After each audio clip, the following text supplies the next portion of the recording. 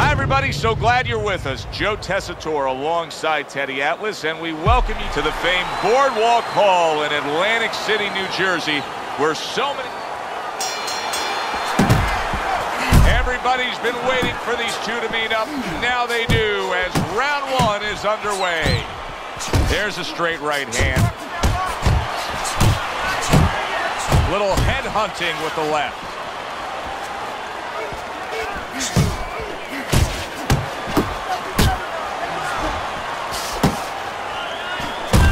Fires right back at him. Committing to the combo now. That's a huge left he just scored with. Good job. Wow! That's a heck of a stunner right there. Down he goes.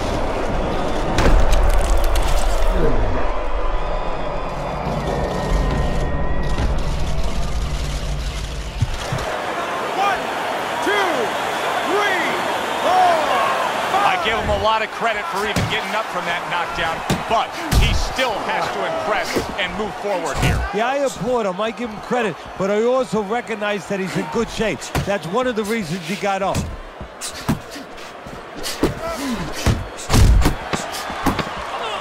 Little head knocking with that right hand. So he scores a knockdown in the last round. Now he gets to settle down and gather himself a bit.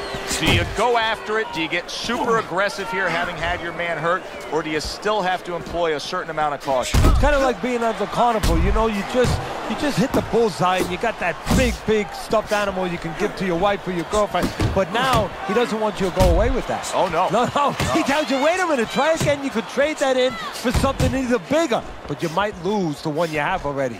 That's the question. The Beast's doing exactly what he's always done stylistically, Teddy. Now, he was knocked down earlier, so what he always does got him in this position. Yeah, he understands his identity. He understands that, you know, he's going to win or lose the man that he is, the fighter that he is. He just has to make sure that he makes a few adaptations. Teddy, what would you recommend based on what we're seeing here tonight? Well, two aspirin and then, oh no, actually I would say a little counterpunching would be just what the doctor ordered. That's a better prescription for him. I like the way he looked at the end of that round. It looks like he's gaining some momentum here. Good competitive fight, and I do believe that he's up on the scorecards. Yeah, I have it the same way. The Beast is tagged by a hook. And he ties up on the inside. To the head he goes with a left hand. Big, big shot he just scored with. And for the second time tonight, he goes down.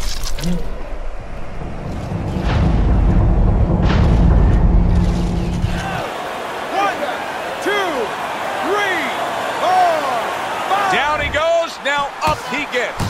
And if he wants to stay up, he's going to have to grab on, kill a little time. Good right hand.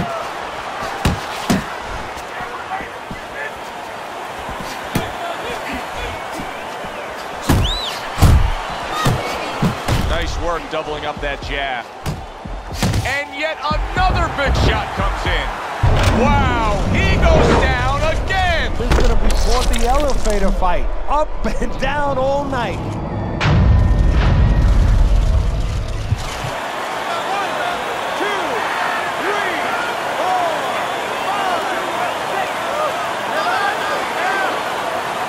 Down he goes, but he's going to continue on, beating the count. The Beast left, working well that time.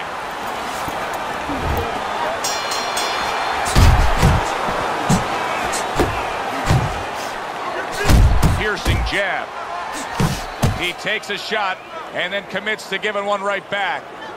The Beast is coming out here after being knocked down in the last round. Teddy, what are some of the things you look for that will tell you he's on steady ground, that he looks fine? Well, the first thing I look for is the base, the foundation. I mean, you look at a house, you want to see and you want to make sure that that basement is solid, there's cinder blocks there. You know, you don't want to see that upper floor waving a little when there's a wind. You're looking at his legs. You want to make sure that they're steady, they're firm. Flush right hand to the head. About that left right there? Oh, and there you go. What a hook to the body, and he is down and in bad shape.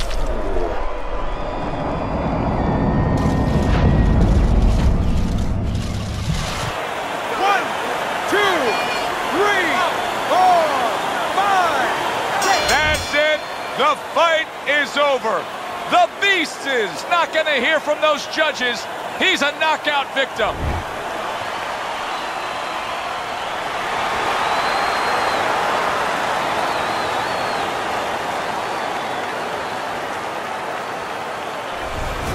Now that's how you end a fight right there. Yes, he was controlling throughout, but he made a good, clean finish with the knockout. Yeah, as a trainer, you want to know, can a guy punch? Can a guy defend?